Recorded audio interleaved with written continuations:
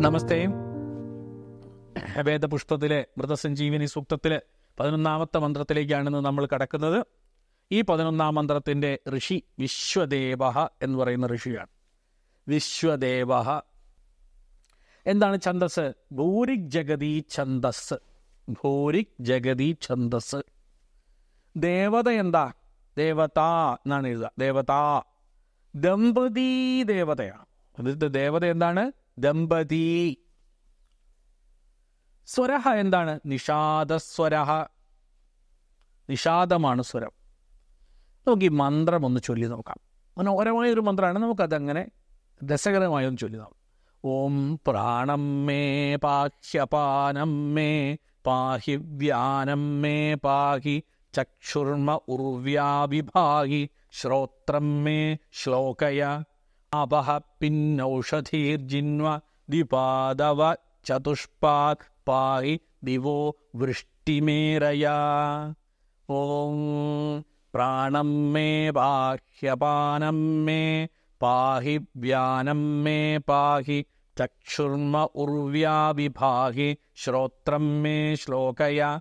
आपः पिन्नौषधिर्जिन्व दिवादवच्चतुष्पात् पाहि ദിവോ വൃഷ്ടിമേരയ ഓം പ്രാണം may പാഹ്യപാനം may പാഹി വ്യാനം മേ പാഹി ചക്ഷുർമ ഉർവ്യാവിഭാഗി ശ്രോത്രം മേ ശ്ലോകയ അപഹ പിന്നൗഷധിർജിന്വ ദിപാദവ ചതുഷ്പാത് പാഹി ദിവോ വൃഷ്ടിമേരയ ഈ മന്ത്രം എടുത്തിരിക്കുന്നത് യജുർവേദത്തിൽ നിന്നാണ് അതാണ് ഇത്ര ദീർഘം.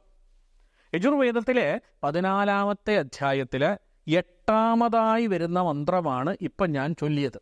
ഇപ്പൊ ചൊല്ലിയതിന്റെ ഋഷി ഞാൻ പറഞ്ഞു വിശ്വദേവ ഋഷി ഭൂരിക് ജഗതി ഛന്ദ ദമ്പതി ദേവത നിഷാദസ്വര അപ്പൊ ഈ സൂക്തത്തിൽ നമ്മൾ മൃതസഞ്ജീവനി സൂക്തത്തിൽ എല്ലാ വേദങ്ങളിൽ നിന്നുമുള്ള മന്ത്രങ്ങളെ സ്വീകരിച്ചാണ് ഇങ്ങനൊരു സൂക്തം ഉണ്ടാക്കിയിരിക്കുന്നത്. ഈ സൂക്തത്തിന്റെ വിനിയോഗം കൊണ്ട് ചത്തുകിടക്കുന്നവനെ ജീവിപ്പിക്കാൻ കഴിയും. എന്ന് പറഞ്ഞാൽ എന്താണ്? ആ, ചത്തതിനൊക്കുമേ ജീവിച്ചിരിക്കും എന്ന് കരുതുന്നവരെ നമുക്ക് ജീവിതത്തിലേക്ക് കൊണ്ടുവരാൻ സാധിക്കും എന്നർത്ഥമാണ് ഇവിടെ ഈ പറഞ്ഞ സൂക്തത്തിന് പറയുന്നത്. അല്ലാണ്ട് മരിച്ചു കിടക്കുന്ന ഒരാളെ ജീവിപ്പിക്കാൻ ആർക്കും കഴിയില്ല. അങ്ങനെ ഒരു എന്താണ് പറയുക സൃഷ്ടി വിരുദ്ധമായ കാഴ്ചപ്പാട് ആർക്കും നമ്മുടെ പ്രാചീന ഭാരതത്തിൽ ഉണ്ടായിരുന്നില്ല. അപ്പം എന്താ ഇനി മന്ത്രത്തിന്റെ അർത്ഥം നോക്കാം? ഭഗവാനെ അവിടുന്ന് മേ പ്രാണം പാഹി. എന്റെ പ്രാണനെ സംരക്ഷിച്ചാലും ഞാൻ ഭഗവാനോട് പറയാണ് എന്റെ പ്രാണനെ രക്ഷിച്ചാലും മേ അപാനം പായി എന്റെ അപാനനെ സംരക്ഷിച്ചാലും എന്റെ അപാനനെ സംരക്ഷിച്ചാലും മേ വ്യാനം പാഹി. എന്റെ വ്യാനനെ സംരക്ഷിച്ചാലും മേ വ്യാനം പാഹി. എന്റെ വ്യാനനെ സഭ്യാ നമ്മളെ ഈ പ്രാണാപാന വ്യാനോദാന സമാനന്മാരെ കുറിച്ചൊക്കെ നമ്മൾ പലതവണ ഈ ഒരു ഈ സീരീസിൽ യൂട്യൂബ് സീരീസിൽ പറഞ്ഞു കഴിഞ്ഞതാണ്. അതുകൊണ്ട് ഞാൻ അത്തരത്തിലുള്ള വ്യാഖ്യാനത്തിലേക്ക് പോകുന്നില്ല ഇപ്പം എന്റെ അപാനനെ സംരക്ഷിച്ചാലും മേ വ്യാനം പാഹി എന്റെ വ്യാനനെ സംരക്ഷിച്ചാലും മേ ചക്ഷുഹു എന്റെ ചക്ഷുശക്തിയെ ഉറിയ വലിയ വിസ്തൃതിയിൽ വിഭാഹി വിശിഷ്ട ദീപ്തിയുള്ളതാക്കിയാലും വളരെ മനോഹരമായ ഒരു പ്രയോഗമാണത്. അതായത് എന്റെ കാഴ്ചശക്തിയെ ഉർവ്യ വലിയ വിസ്തൃതിയിൽ വിഭാഗി വിശിഷ്ട ദീപ്തിയുള്ളതാക്കിയാലും എന്ന് പറഞ്ഞതിന് കാര്യം എന്താണെന്ന് വെച്ചാലും കേവലമായ കണ്ണല്ല. ആ കാണുന്നതിനും അപ്പുറത്തൊരു കണ്ണുണ്ട്. ചില നമ്മൾ കാര്യങ്ങളെ കാണുമ്പോൾ അതൊരു തേ തികച്ചും നമുക്ക് ഭൗതികമായിട്ടുള്ള കാഴ്ചയിലുള്ളത് മാത്രമായിരിക്കില്ല. അതിനുപരിയായിട്ടുള്ള ചിലതും നമുക്ക് കാണേണ്ടതായിട്ടുണ്ട്. അങ്ങനെ എന്റെ കണ്ണിനെ വിസ്തൃതമാക്കിയാലും കണ്ണിനു കണ്ണു മനമാകുന്ന കണ്ണതിനു കണ്ണായ പൊരുൾ എന്ന് പറഞ്ഞതുപോലെ ഉള്ള ഒരു കാര്യത്തെക്കുറിച്ചാണ് ഇവിടെ പറയുന്നത്. വിശിഷ്ട ദീപ് ദീപ്തിയുള്ളതാക്കിയാലും മേ ശ്രോത്രം എന്റെ കേൾവി ശക്തിയെ ശ്ലോകയ വേദാദി ശാസ്ത്ര സംബന്ധിയായ വാണിയെ കേൾക്കുന്നതാക്കിയാലും ശ്ലോകയ വേദാദി ശാസ്ത്ര സംബന്ധിയായ വാക്കുകളെ കേൾക്കുന്നതായിരിക്കണം എന്റെ കാതുകൾ. അല്ലാണ്ട് അനാവശ്യമായത് കേൾക്കരുതെന്ന് പറയണം. അപഹ പിൻവ. അടുത്ത കാര്യം എന്താ പറയുന്നത്? അപഹ പിൻവ. ശരീരത്തിൽ ജലത്തെ പകർന്നു നൽകിയാലും ശരീരത്തിൽ ജലത്തെ പകർന്ന് ഡീഹൈഡ്രേഷൻ ഉണ്ടാവരുതേ. ശരീരത്തിൽ ആപഹ പിൻവ. അങ്ങനെ വരാൻ സാധ്യതയുണ്ട്. ശരീരത്തിൽ ജലത്തെ പകർന്നു നൽകിയാലും ഓഷധീഹി ജിൻവ. ഓഷധീഹി ജിൻവ ശരീരത്തിൽ ധാന്യങ്ങളെ അന്നത്തെ സജീവമാക്കി നിർത്തിയാലും എന്റെ ശരീരത്തിൽ ധാന്യങ്ങൾ അന്നം ഉണ്ട്. ആ അന്നത്തെ സജീവമാക്കി നിർത്തിയാലും നമുക്ക് വേണ്ടത്ര കാർബോഹൈഡ്രേറ്റും വേണം. അങ്ങനെ ദ്വിപാത് അവ ഇരുകാലികളായ മനുഷ്യ പക്ഷ്യാദി ജീവികളെ രക്ഷിച്ചാലും എന്താ പറയുന്നത്? മനുഷ്യ പക്ഷ്യാദി ജീവികളെ രക്ഷിക്കണം. ഇരുകാലികളാണ് രണ്ടും.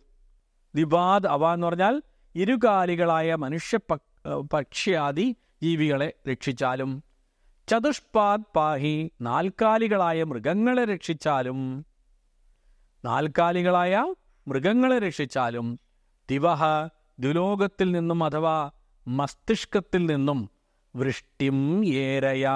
എന്താണ് വൃഷ്ടിം ഏരയാ?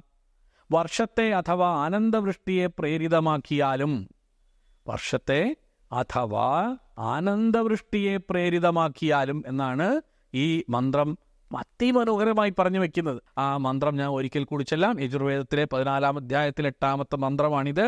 ഓം പ്രാണം മേ പാശ്യപാനം മേ പാഹി വ്യാനം മേ പാഹി ചക്ഷുർമ ഉർവ്യ വിഭാഹി ശ്രോത്രം മേ ശ്ലോകയ അപഹ പിന്നൗഷധീർജിന്വ ദിപാദവ ചതുഷ്പാത് പാഹി ദിവോ വൃഷ്ടിമേരയാം.